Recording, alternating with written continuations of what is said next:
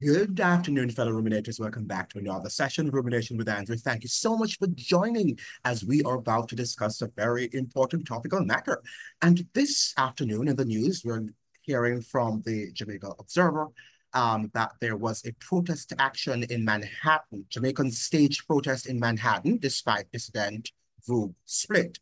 And this article was written by Harold Bailey, um, an observer writer, and he highlighted some very important factors. But let's get into the news, right? Despite reeling from a bitter feud within the ranks of the rival Global Jamaica Diaspora Council, G Day, so it's G, sorry, it's GJDC, which has split the organization and dampened its resolve a small number of members staged a protest action against the Jamaican government in New York last Friday. So there was another protest action against the Jamaican government staged in Manhattan, New York last Friday.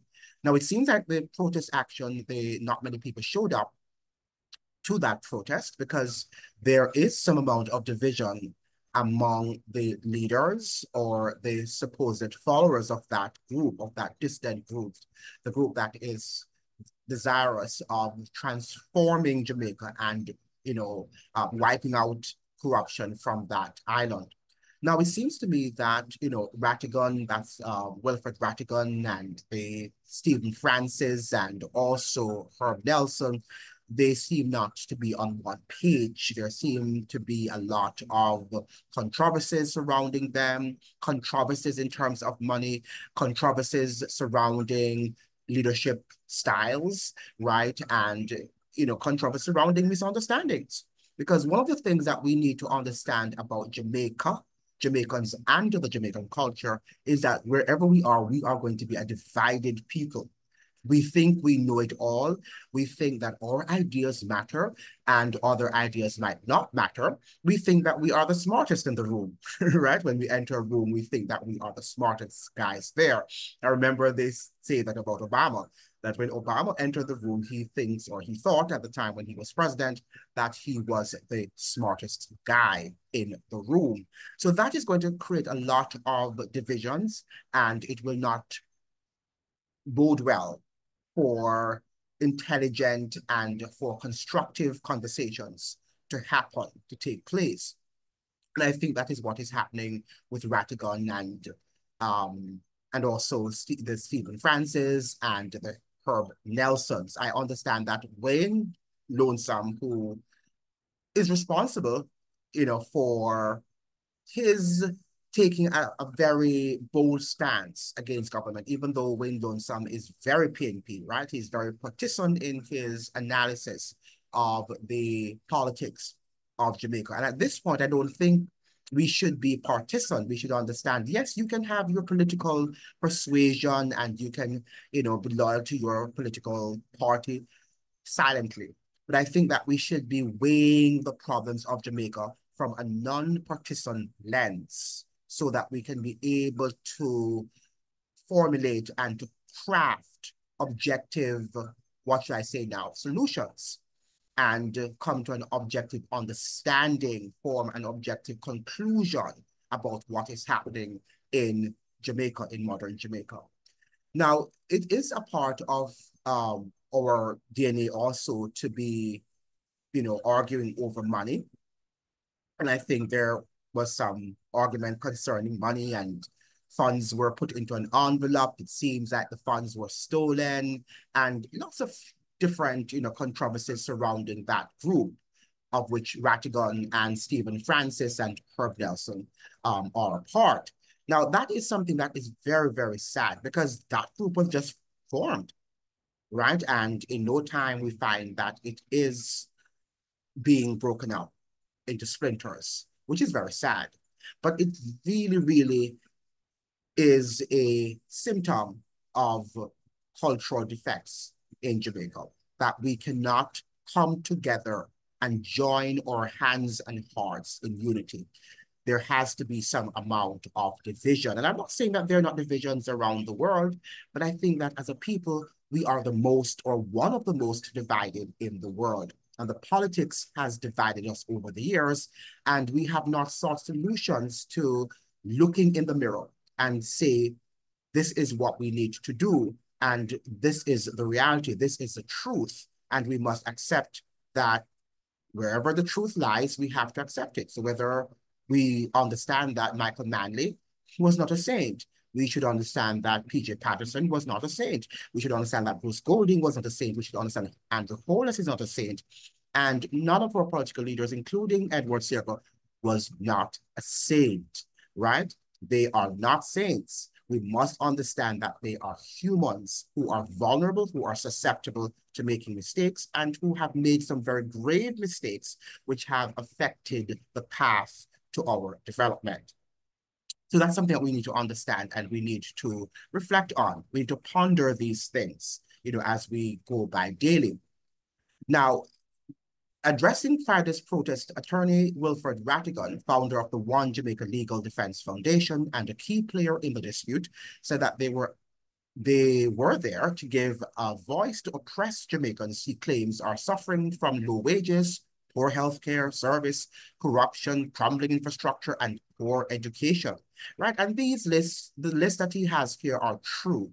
They're suffering Jamaicans. Most Jamaicans are suffering from low wages, poor healthcare. We can see that our teachers are leaving, poor healthcare, our nurses are leaving. And I understand recently that a gentleman at the Sangster International Airport, I'm not sure if he was, he's a citizen of Jamaica or a tourist, a foreigner, uh, I don't know, but he he died at the Sangster International Airport, and it is alleged that one of the reasons, or the main reason for which he died, was that there was no medical service of you know to have come for him, and I'm like in the uh, for an ambulance that should have gone there to take him as quickly as possible to, to, to see a doctor, right, to see a physician. Uh, as a result of that, he, he died. And we know that there are shortages of ambulances and medical equipment in Jamaica as a result of this rigid, austere IMF policy or program that we are a part of and that we're praising Nigel Clarke to have directed, right? And these are some of the consequences of the austerity under which we find ourselves, right? Or in which we find ourselves, right? Austerity that is choking us, that is suffocating, suffocating the very life blood out of the Jamaica's economy, the Jamaican economy. And it's something that we have to come to grips with. And this is what I am here to say that oftentimes when you hear Wilfred Rattigan speaks and others who articulate our problems in Jamaica, they speak devoid of, there is no mention of geopolitics, as if geopolitics doesn't matter. And geopolitics play 95% of the problems we're facing in Jamaica has to do with geopolitics and the role that geopolitics play in globalization. We have to look at the concept of globalization. Jamaica is no longer in the same reality. We're not facing the same realities as we faced in 1962 when we became independent. And I think people think that way. They think that we're just sovereign nation and our political leaders are the ones who are so corrupt and they're leading us into on the path of destruction. And to some extent, that is true, right? Maybe 30% of that is true. But we must understand that there are other factors, other global factors that impinge on our current reality and that prevent us from realizing our full potential and that we are not as free as we think we are. We are not as sovereign as many Jamaicans think we are. I think if we come to grips, if we face these realities and begin to look at the global challenges, to look at the geopolitical challenges and articulate them and find you know, prudent ways of combating these geopolitical challenges, then perhaps we will begin to solve some of our problems. I do not know, as I've suggested before, if our problems really can be solved at this point. However, you know, where there is vision, you know, and where there's hope, I think we should continue to foster that hope, right? That, you know, because we can't live without hope. Humans cannot live without hope. Hope is food for the mind and the soul and the body to get things done. So we need to come together. We need to analyze in an objective manner, right? Um, in a non-partisan manner, these geopolitical challenges, that are beyond our power in some cases because it's got the IMF. We cannot control what the IMF does or does not do. In fact, there was an article that was written by Baron Buckley, I think, in the Jamaican Gleaner. I think it was written yesterday.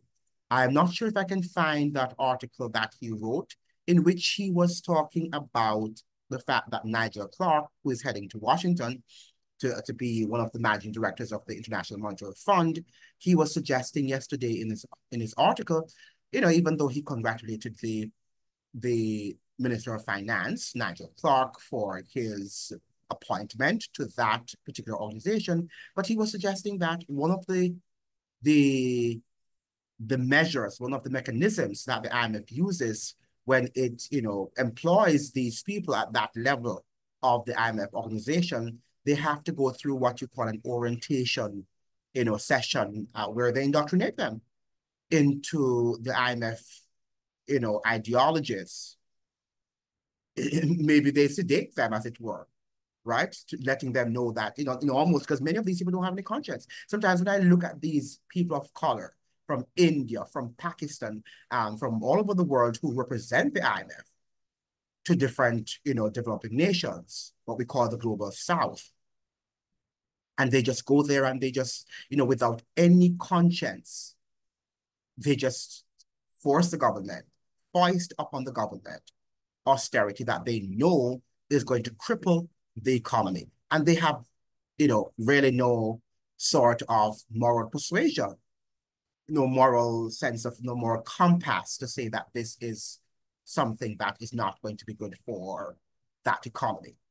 Because that is the way how they have been indoctrinated. They have been brainwashed into becoming this IMF representative and they think that they're important. And they, I'm sure they earn big, all right? They earn a big salary. So that is what is happening. So I think Rattigan and the people who are protesting, who are making their protest, need also to understand that we face some very challenging, right, insurmountable geopolitical uh, challenges that Rattigan and his crew, his team, are not addressing. I also find that Joseph Patterson, the president of the um, United International Congress, is that what it is? Right, whatever it is, what is the UIC? Um, when you listen to Joseph, Joseph is a passionate person, and I think that he's an intelligent man. However, Joseph needs to understand that Jamaica is not this country like Singapore um, in, in Asia. And the United States had different policies towards Asia than different policy towards a country like Jamaica in the Caribbean Sea and Latin America. A total different policy, right? Towards them, even when Singapore was being developed. Right? So he needs to understand that. And sometimes when he speaks about Singapore, it's almost like Singapore is this country that, you know, miraculously through the efforts of Lee Kuan Yew developed into this eh, great economy. And I'm not suggesting here that if Jamaicans were more disciplined, that we could not have done better. But to suggest a country that is at the back door of the United States is going to, the US is going to allow them to do what they want to do is not going to work. And some of the, the policies that Singapore also implemented, if they were in the Caribbean, US would have undermined them. They would say, oh, it's communism, because we know that some of the policies that Michael Manley wanted to implement were policies that were healthy for the economy, but the US did not want to happen because the fact of the matter, they were accusing Jamaica of communism as if the United States is against communism, but that was a way to, you know, some sort of pretext given to suggest that we are the one, the ones who control what you do and what you do not do. Because the United States used communism in the Cold War to prevent development of economies, whether it was in Chile or it was in um, Iran or it was in Guatemala, right? All of these economies and all of these prime ministers and presidents were undermined.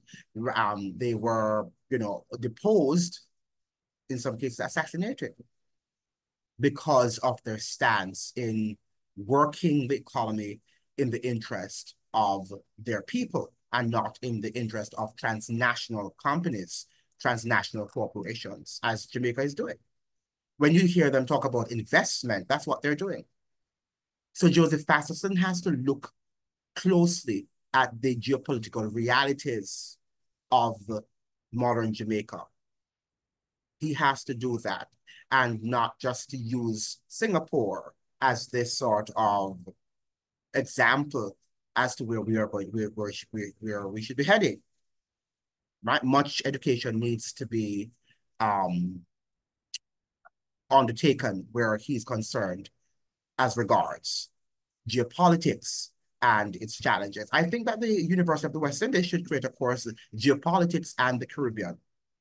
And maybe Jamaica should have a course for itself because we're, we're such an anomaly in the Caribbean that we should have a course from maybe, you know, primary school to high school to university, geopolitics and Jamaica.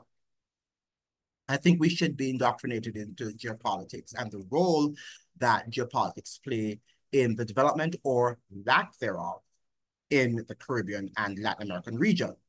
I think we should, because I don't think most of our people understand, they grasp the concept of these challenges that we face, right? Something that we have to understand, something that we must begin to analyze and to become experts at, right? And I think even our intellectuals or so-called intellectuals in Jamaica often do not flesh out. And that is why I was so very impressed with eh, Dr. Thames. Is Dr. Thames, um, Maziki Thames, am I pronouncing his name correctly? When he wrote about the IMF and the realities that confront Jamaica as a result of IMF policies. And this has been happening for decades. Even when you hear the same Dr. Um, Anthony Haughton, is it Anthony Haughton? Andre Haughton, it's not Anthony, but Andre Haughton speaks. When Andre Haughton speaks about the IMF and the economic policies, he does not include the whole matter of geopolitics in what he's saying, right?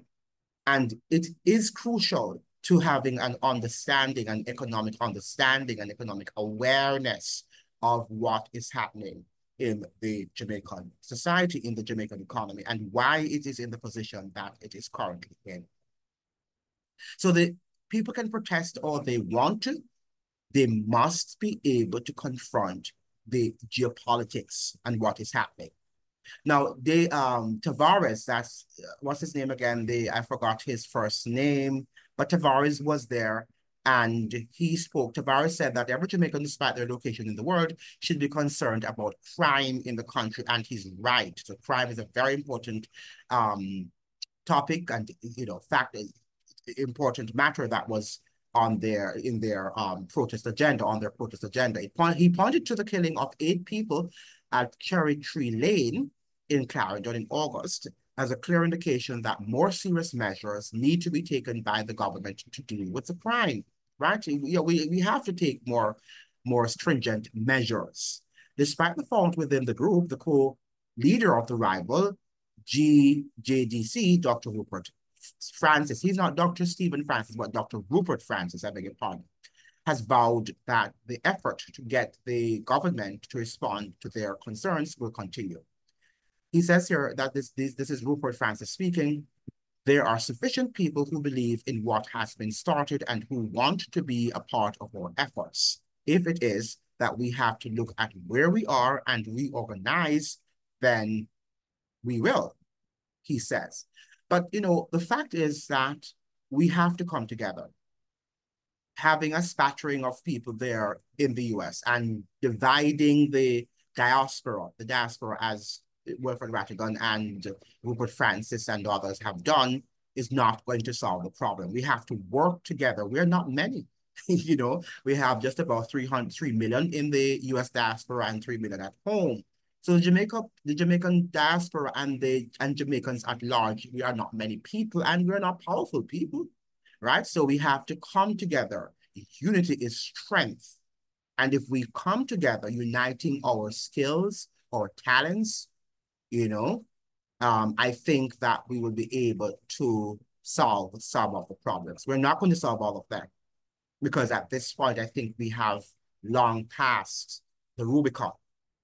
And we are not going to be going back right now. But, you know, as I'm suggesting, we need to try as best as we can because we're thinking about future generations here. We tend to think about our generation, but we have to think about those who come after us. So it's going to, be messy, it's going to be spotty for them, but we have to do all that we can do, all that we can do to ensure that they have a world that they inherit, a world that is at least habitable. Jamaica that is at least habitable, but the trajectory on which we are treading at the moment, we're not leaving that, we're not leaving a habitable Jamaica for them what we're leaving is a society that is filled with anarchy and lawlessness, right? Because the society is lawless. And that is perhaps what we need to work on first. We need to work on creating a law-abiding, lawful society where people, you know, obey the laws. And if they don't obey the laws, that there are stringent fines.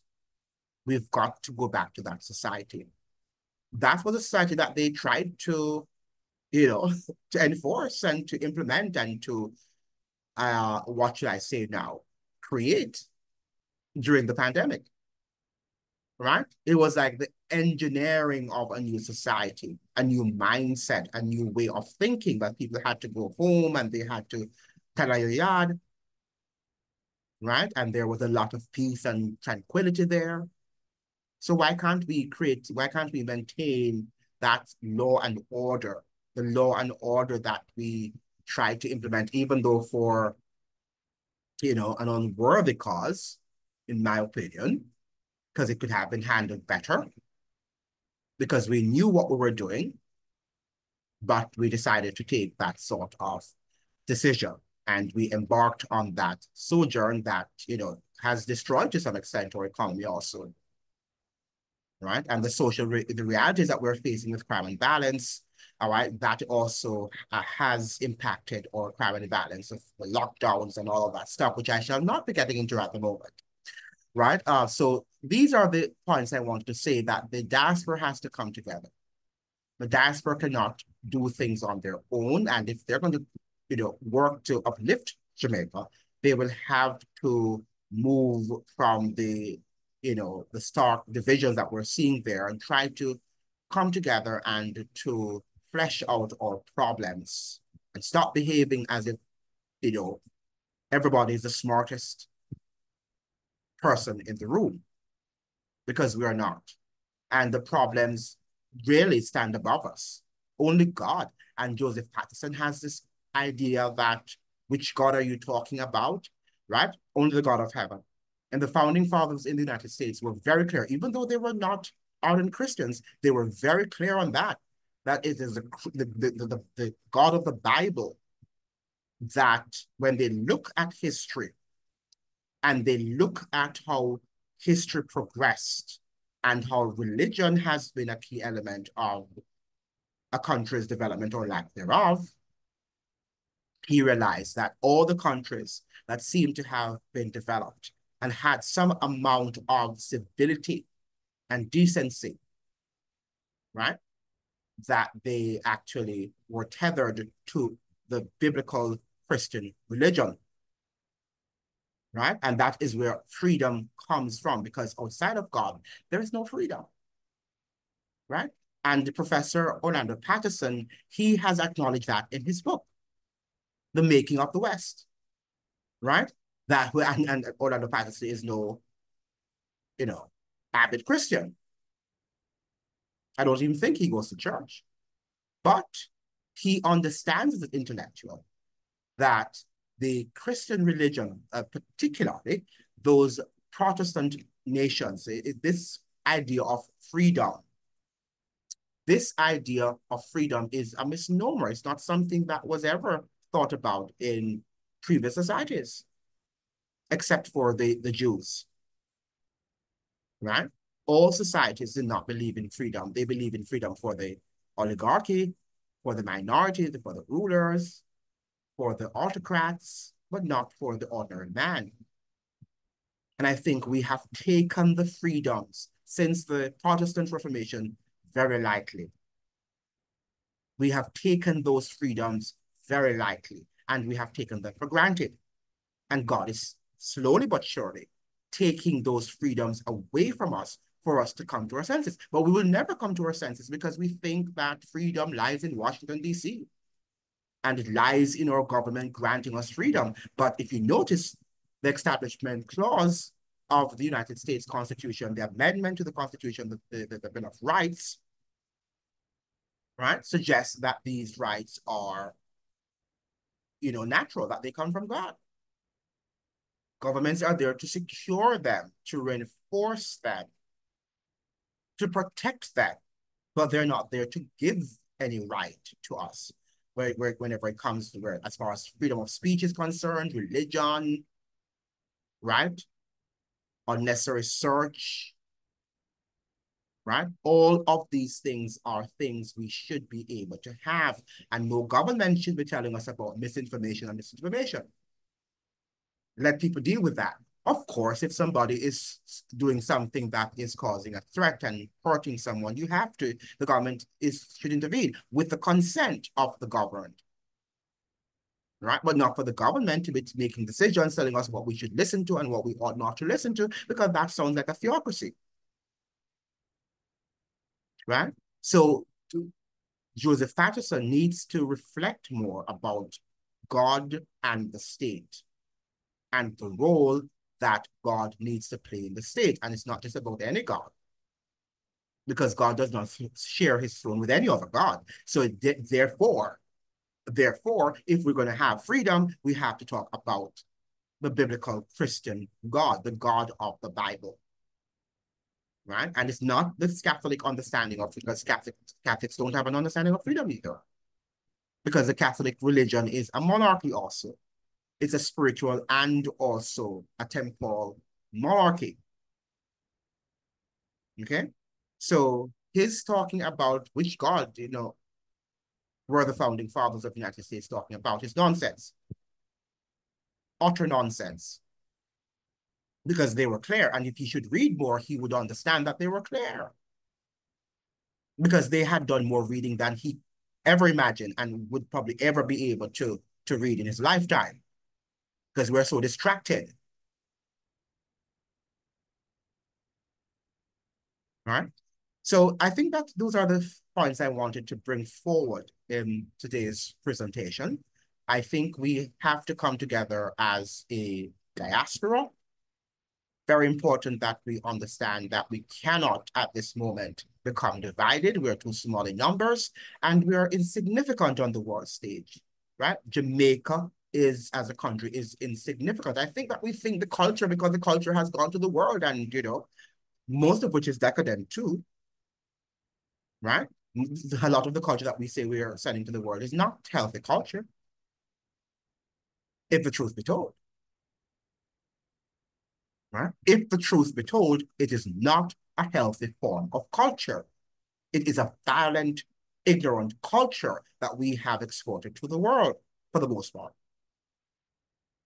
Right? For the most part. And we've got to come to grips with that. Much of what we celebrate is what should not be celebrated. And that is why we're having crime and violence. Because at one point, at one end, we're celebrating it with the Vybz Kartel and we're jumping and we're dancing. And you're going to see many people going to Vybz Kartel's concert comes December or January. They're going to be going there. At the end of the day, they lament to understand the, the, the, the, the large homicide, the high homicide rate that is registered every every year in Jamaica. So we want to have our cake and eat it at the same time. We want to have, you know, um, crude, obscene lyrics played on the airwaves right? Man a shaka and man to kill man and all of that stuff. Yet, when it does play out in reality, in real life, why do you think music is so important in worship? Because as you sing hymns, for example, it is a life lesson to be applied in your life. Master, let, oh Master, let me walk with thee. You contemplate on the words, and that is what helps you to walk with God.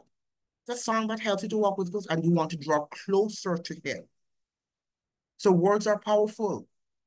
And that is why music plays such a pivotal role in any liturgy. Without music, there's no worship. So when you're thinking about, oh, these are some words and you have to separate entertainment from real life, that's nonsense. Because when you have our young people just consuming that sort of lyric every day, right, then they're going to become violent. Because that is what is, that is what has inundated their minds. Violence, crudity, obscenity, right? This is what has really filled up their minds. And we're not coming to grips with that. We think that, no, it's just, you know, Vybz Kartel is the entertainer and Adidja Palmer is the real guy. But the Vybz Kartel and Adidja Palmer are the same people. they might be playing different roles, right? But it is the same person. Let's not be confused or let Vybz Kartel confuse you. Right? It is the same person. If he's advocating, his Vybz Kartel is advocating violence in his music, Adidja Palmer is advocating violence in his music. And something that you've got to understand, if Andrew Tucker is advocating violence in his music, then whatever moniker I come up with for my name that person or that moniker is also advocating violence. I don't care who, whoever you are, who, who I, I don't care. That is what life is all about. And we find ourselves now because of the education system and this left-wing ideologies of this Marxist, you know, where we're going to be all equal in society and, you know, we can do whatever we want and we can become an agenda we want to become. That is the sort of indoctrinating and the sort of nonsense that is being taught in schools right now. So we find our societies thinking that we are going to just live in this world of illusion where we think that we, you know, we're here. But let me just end here by saying, unless the Lord builds the house, he or she who is building it is laboring in vain, right? Unless the Lord is the builder and designer of the house. He or she that engages in that building process labors in vain. Thank you so much for joining. I hope that you like and you'll share and you will subscribe to the channel. Remember now, I think I have 70 5% or 74% of the viewers of this channel have not yet subscribed. So what is it taking you? Subscribe. Remember now, that is how you are going to send the video. You're going to help to send the videos to the members of the world. You know, because remember now, if you don't have enough subscribers and you do not view, you don't have enough viewers, then the videos and likes also then the videos will not be shared on the platform. So it's up to you. You need to make a difference. It's it's it's it's it's free right? It takes nothing but to just hit a like button or to hit a subscribe button, right? So that the videos can be shared with as many people around the world. Thank you so much for joining. I hope to see you in another video. Ciao.